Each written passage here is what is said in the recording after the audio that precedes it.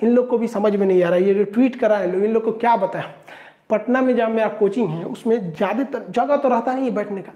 वहाँ आप देखेंगे ना कि वहाँ एक गायत्री परिवार है, बहुत बेहतरीन काम करते हैं। ये लोग गरीब को, अनाथ को, जो कूड़ा बिनते उन लोग को पढ़ाता है ये लोग। बहुत अच्छा काम करते हैं। हम लोग इन्हें से ऑफिशियली नहीं मिले, लेकिन जो यहाँ के सेवक हैं, जो बच्चे हैं, वो पढ़ाते हैं। उन लोगों को हम कहते हैं, भैया, तुम उन्हें पढ़ाओ। तुम्हें जब भी वक्त मिले, मेरे यहाँ आके पढ़ लिया करो। ये लोग जिस बैच में आके पढ़ लेते हैं, फ़ीस नहीं लेते।